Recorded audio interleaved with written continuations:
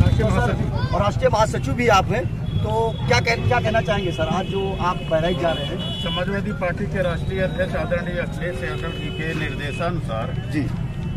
उत्तर प्रदेश में हमारे नेतृत्व में जनादेश यात्रा का प्रारंभ पीलीभीत से हो चुका है। जी। पीलीभीत शाहजहांपुर करते हुए जी। आज हमारा प्रोग्राम बहराइच का है बहराइच के बाद सरावस्ती का है। जी। हम जनता के बीच जा रहे हैं जो भारतीय जनता पार्टी की देश और प्रदेश की सरकार है। जी जिन्होंने जनता के साथ छल किया कपट किया जी। वादा खिलाफी किया महँगाई बढ़ाया न्याय अत्याचार को जो है बढ़ाया। जी। महिलाओं का उत्पीड़न किया छात्रों का उत्पीड़न किया व्यापारियों का उत्पीड़न किया किसानों का उत्पीड़न किया। जी। सारे समाज को जो इन लोगों ने छाला है जी। सारे समाज को जागृत करके हम समाजवादी पार्टी में लोगों को जोड़ करके 2022 में भाजपा को यूपी से हटाकर अखिलेश डीजल का दाम बढ़ रहा है पेट्रोल का दाम बढ़ रहा है महँगाई पे क्या कहेंगे सरकार के लिए? आज़ादी के बाद से जितनी महँगाई भारत देश में आज है जी। कभी नहीं बढ़ी जो जी।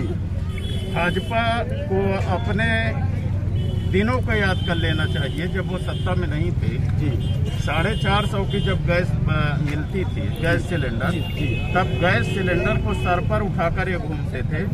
आज सवा नौ सौ की गैस हो गई। है इतनी महँगाई बढ़ी है। सौ रुपए का पेट्रोल बिक रहा है नब्बे रुपए का डीजल बिक रहा है। जी। दो सौ रुपए के ऊपर सरसों का तेल बिक रहा है। महँगाई चरम पर है, खाद महँगी, बीज महँगे, सारे जो है किसानों के हित में, व्यापारियों के हित में, नौजवानों के हित में, जो आज रसोई का बजट बिगड़ गया है, पूरी तरह जो है महँगाई चरम पर है। भाजपा दो मुही पार्टी है और जो कहती है उसको कभी भी पूरा करने का काम नहीं करती है।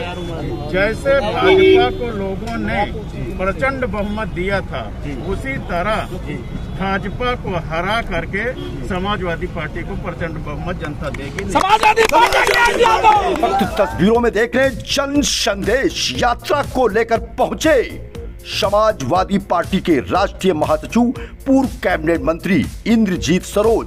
यहाँ नगर पंचायत जरवल में आप देख रहे हैं उबेदुर तथा यहाँ पर देख रहे हैं आप बहार सभासद की तस्वीरों को आप देख रहे हैं दोस्तों शकील रायनी की भी मैं तस्वीरों को आप दिखा रहा हूँ, जो नगर पंचायत अध्यक्ष है समाजवादी पार्टी के।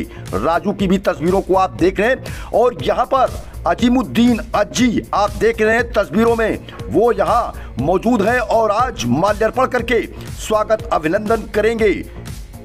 इंद्रजीत सरोज, कैबिनेट मंत्री, समाजवादी पार्टी, राष्ट्रीय महासचिव का वो पहुँच चुके। मैं तस्वीरों में आपको इस वक्त दिखा रहा हूँ, लुकमान अहमद, युवा नेता समाजवादी पार्टी ने माल्यार्पण करके उनका स्वागत अभिनंदन किया।